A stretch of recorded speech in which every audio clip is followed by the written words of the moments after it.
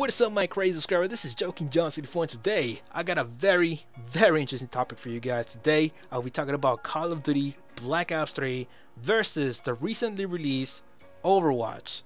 And um, well, the fanboys out there, whoever's watching this, you better not get butthurt because after all of this I'm pretty sure I will get some dislikes. So um, anyways, these two games, man, they have been a hell of a time. I've uploaded so many videos about these games, except for Overwatch, though, because I barely started recently. So um, please hold on that. And if you guys think I suck in Overwatch, make sure you watch the gameplay in the background, because I did manage to go 30 kills with one death in this whole game session. So um, you guys think I suck in Overwatch, please keep your eyes on the gameplay. And for those people who are on the Black Ops side and on the Black Ops 3 side, make sure you watch my old videos so you guys can see, you know, if I'm good in Black Ops 3 or not. Because I'm pretty sure I posted like around four different 100 plus kills gameplays and a bunch of different 80 plus kills gameplays. So yeah, I'm, thinking I'm pretty much decent in Black Ops 3. So with all my experience, with all my history with Call of Duty, especially like for six plus years, I mean, I started Call of Duty like back in Black Ops 1. Um, I think I can finally compare these two games except for Overwatch. I'm not sure if 28 hours is enough, but um, you know, you guys get my point. You know, my review day when I reviewed this game of Overwatch, I think I only had like around 14 hours. But after a few days, I'm thinking, you know, after 28 hours, I can pretty much start comparing it to other games. So, uh, Call of Duty Black Ops 3 versus Overwatch. Who takes the cake? Who takes the W?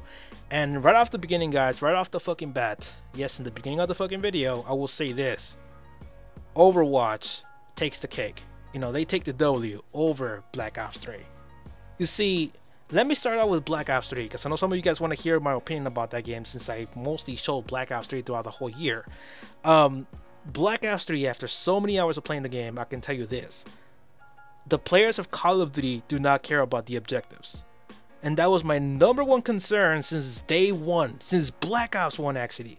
A lot of the Call of Duty players do not care about the objectives. The Call of Duty players care about themselves, care about the KD, care about getting a feed or a quaddy with the quick scoping skills they have.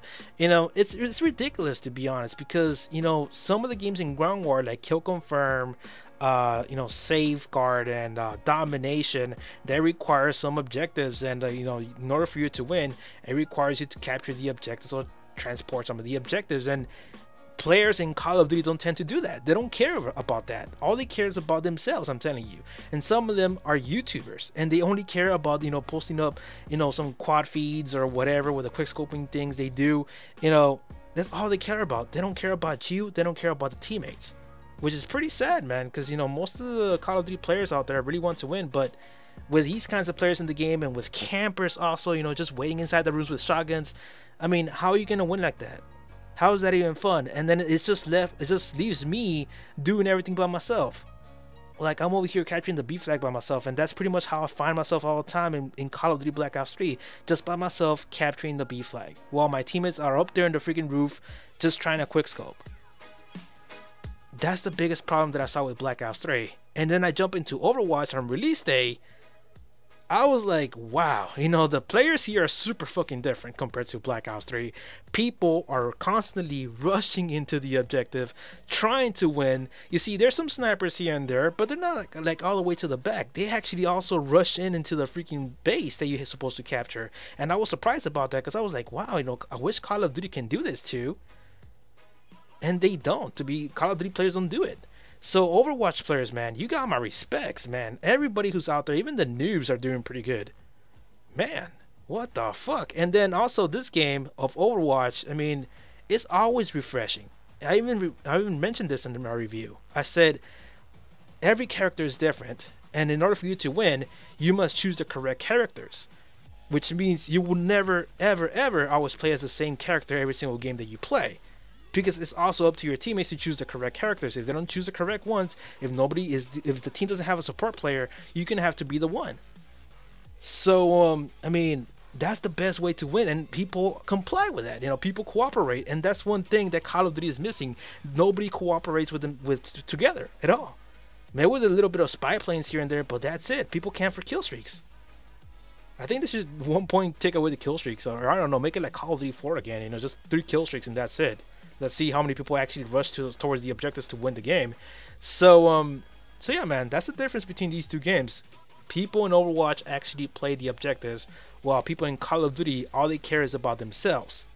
So that's how I see it, and that's my experience with both games so far, especially with Overwatch since it's a recently released game. And after two weeks, I can tell you they love playing the objectives with whatever characters they choose, slow, fast. Uh, there's only one melee character, uh, by the way, because I know some of you guys are gonna be saying like, "Oh, it's not the same thing." You know, there's a melee character right there. I know. There's one guy with a fucking hammer, while the rest of the characters are carrying a gun. So you can still say it's still an FPS. So um, after all this debacle, guys, I would just say that Overwatch is just more fun, more refreshing. It offers you more when you're playing the game, even though it does have a low amount of content. It does have more of a fun factor compared to Black Ops 3. So you don't have to deal with quick scopers and none of that. You just go straight up, guns blazing out there, and it's it's super fun. So um, yeah, I consider Overwatch is better than Black Ops 3. So that's it, guys. If you guys think something else, make sure to leave it in the comment section. Tell me your opinions about this. Is Black Ops 3 better than Overwatch or Overwatch better than Black Ops 3?